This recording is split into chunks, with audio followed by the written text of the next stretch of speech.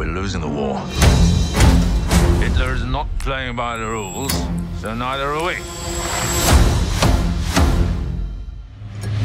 We both know that if I'm to do this, I'll need my own team.